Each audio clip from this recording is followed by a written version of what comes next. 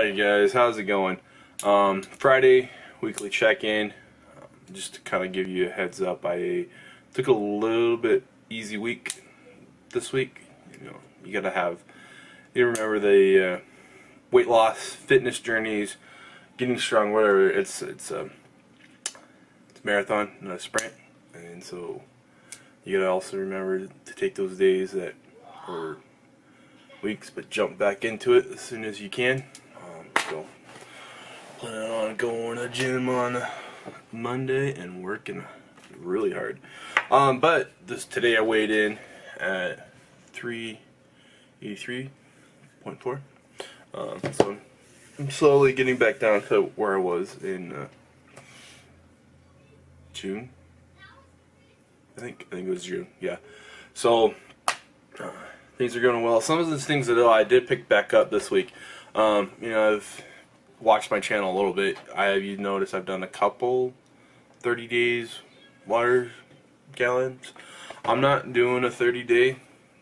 I need to be drinking a gallon of water every day because I remember hearing from other YouTubers and I've seen um, some stuff that you should be drinking about half your body weight in ounces and that's more than or less than half my body weight, so I really should be drinking almost like a gallon and a half.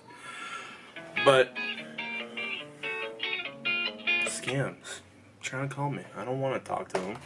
Um, yeah, so I've been drinking that, trying to get back into it. Uh, I haven't quite finished a gallon um, in a day yet, but gotten like three fourths of it. So I think in the next day or two, my body will readjust to it which is nice because um, I've been breaking out a lot, which is driving me nuts.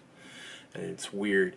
When you drink more water, you don't break out as much. So if you have problems with breaking out, drink more water. Um, but yeah, it's uh, it's been pretty good this week. So um, well, work's been dumb.